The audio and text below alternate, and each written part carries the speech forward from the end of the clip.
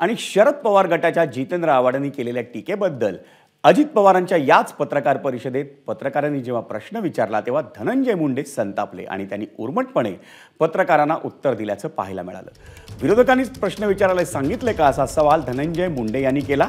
तर आपल्याला दादांचा बाईट मिळाला आता जेवणाचा बाईट म्हणजे खास घ्या असं उर्मटपणे धनंजय मुंडेंनी पत्रकारांना म्हटलं.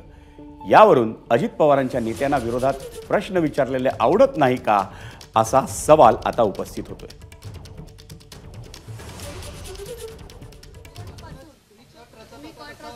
कोण? मी? कोण विरोधक कोण?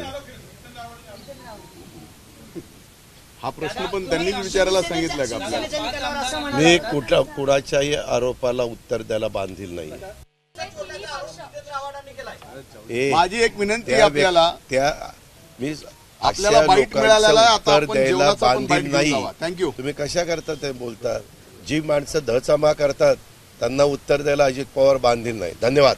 आपल्याला बाईट मिळालेला आहे आता जेवणाचा बाईट घेऊन जावा. विनंती आहे धन्यवाद.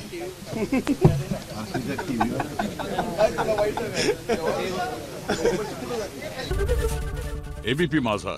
उघडा डोळे बघा नीट.